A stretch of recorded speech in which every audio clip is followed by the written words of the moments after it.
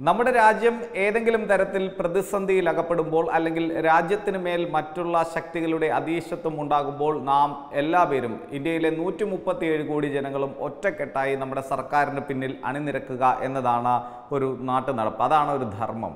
നമ്മൾ ഇന്ത്യയിൽ താമസിച്ചുകൊണ്ട് ഈ രാജ്യത്തിനെതിരെ അല്ലെങ്കിൽ നമ്മുടെ രാജ്യത്തിന്റെ ഭരണാധികാരികൾക്കെതിരെ അഭിപ്രായ വ്യത്യാസം പ്രകടിപ്പിക്കുന്നത് സ്വാഭാവികമാണ്. രാഷ്ട്രീയപരമായും ആശയപരമായും ഒക്കെ ചില പല ആളുകൾക്കും നരേന്ദ്രമോദി എന്ന നമ്മുടെ ഇന്ത്യൻ ഭരണാധികാരിയുടെ നമ്മുടെ ലോക ജനനായകന് എതിരെ ചില ആളുകൾക്ക് ഉണ്ടാകും. അതൊക്കെ സ്വാഭാവികമാണ്. പക്ഷേ നരേന്ദ്രമോദി എന്ന ആ ഒരു ഭരണാധികാരിയുടെ കീഴിൽ ഇന്ത്യ ആർജിച്ചിട്ടുള്ള ആ അല്ലെങ്കിൽ ഇന്ത്യ കൈവരിച്ചിട്ടുള്ള ആ വലിയ മഹത്വം. അത് തന്നെയാണ് നമ്മൾ ഇന്നലെ കണ്ടത്. ചൈനീസ് പട്ടാളത്തിന്റെ ഇരുട്ടിൽ പതിയിരുന്നുള്ള ആക്രമണത്തിലും അവർ നമ്മളുടെ ഇരുപത് ധീര ജവാന്മാരുടെ ജീവൻ എടുക്കുന്ന തരത്തിലേക്ക് അവർ ഒളിപ്പോര് നടത്തിയിട്ടും നമ്മൾ ഉരുളക്കുപ്പേര് പോലെ അവരുടെ നാൽപ്പത്തി മൂന്നോളം സൈനികരെ ഒന്നുകിൽ ചൈന ആയതുകൊണ്ട് കൃത്യമായിട്ടൊരു വിവരം ലഭിക്കുന്നില്ല നാൽപ്പത്തി മൂന്ന് സൈനികർ കൊല്ലപ്പെട്ടു എന്ന് തന്നെയാണ് അനൗദ്യോഗികമായി നമുക്കിപ്പോഴും പറഞ്ഞു വെക്കാൻ കഴിയുന്ന ഒരു കാര്യം.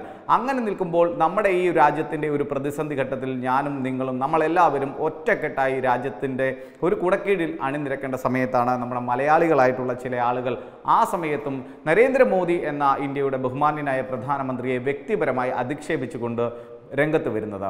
ഫേസ്ബുക്കൊക്കെ ഇവന്മാർക്ക് എന്ത് തോന്നിവാസങ്ങളും എഴുതിവിടാനുള്ള ഒരു വേദിയായി മാറുന്നത് എത്ര അപലപനീയമാണ്. ഇവർക്കെതിരെ രാജ്യദ്രോഹത്തിന് തന്നെ കുറ്റം ആ കുറ്റം തന്നെ ചുമത്തി ഇവരെയൊക്കെ എടുത്ത് അകത്തിടണം. കാരണം ചോറിവിടെയും കൂറ് വേറെ വല്ലയിടത്തുമാണ് ഇത്തരത്തിലുള്ള ഒരു വ്യക്തിയെയാണ് നമ്മളിപ്പോൾ പരിചയപ്പെടുന്നത്. ഇയാളുടെ പേര് ഷൈൻ ഡി കെ എന്നാണ്. ഇയാളുടെ പ്രൊഫൈൽ നിങ്ങൾ കണ്ടു നോക്കുക ഇതാണ് ഇയാളുടെ ഫേസ്ബുക്കിന്റെ പ്രൊഫൈൽ.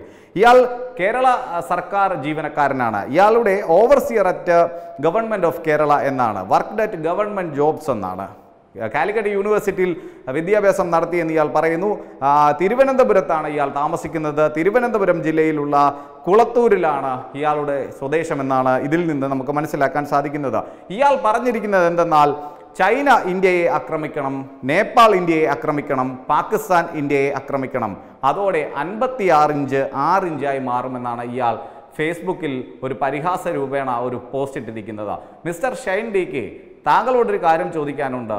കൃത്യമായ രീതിയിൽ താങ്കൾ ഇന്ത്യ മഹാരാജ്യത്ത് ജീവിക്കുന്ന ഒരു പ്രജയല്ലേ?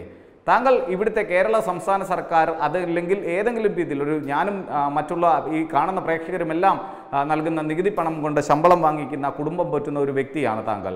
എത്ര വലിയ ശുദ്ധ തെമ്മാടിത്തരമാണ് താങ്കൾ പറഞ്ഞത് എന്ന് താങ്കൾക്ക് ബോധ്യമുണ്ടോ?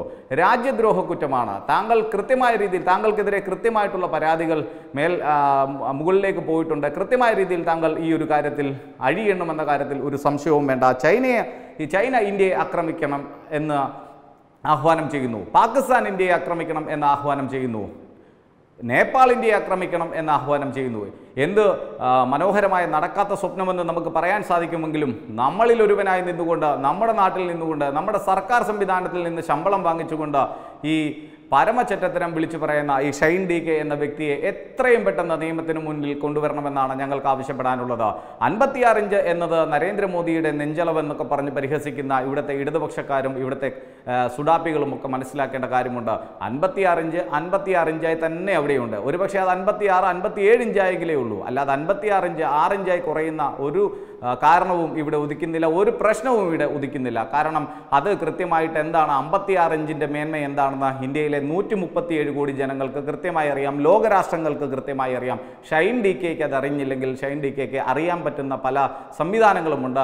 അതുവഴി അറിഞ്ഞാൽ മതി. അല്ലാതെ തന്റെ ആവിഷ്കാര സ്വാതന്ത്ര്യം എന്ന ആ ഒരു പുലയാട്ട് നടത്താനുള്ള വേദിയായി ഫേസ്ബുക്ക് എന്ന നവമാധ്യമത്തെ ഉപയോഗിക്കരുത്. അതിനെതിരെ ശക്തമായ രീതിയിലാണ് ജനരോഷം ഉയരുന്നത്. ഇയാൾക്കെതിരെ കൃത്യമായ രീതിയിൽ പരാതി നൽകി. ഇയാളെ എത്രയും പെട്ടെന്ന് അഴിക്കുള്ളിലാക്കാനുള്ള നടപടിക്രമങ്ങൾ ഇവിടുത്തെ അധികാരികൾ സ്വീകരിക്കണം. കാരണം ഇയാൾ കേരള സംസ്ഥാന സർക്കാരിന്റെ ഒരു സ്റ്റാഫാണ്.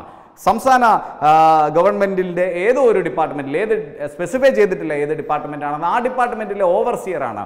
അങ്ങനെ സർക്കാർ ശമ്പളം വാങ്ങിക്കുന്ന ഒരു ശുദ്ധ തെമ്മാടി ഇന്ത്യൻ പ്രധാനമന്ത്രിയെ അതും ഈ ഒരു പ്രതിസന്ധി ഘട്ടത്തിൽ രാഷ്ട്രീയപരമായി നരേന്ദ്രമോദിയെ വിമർശിക്കാം.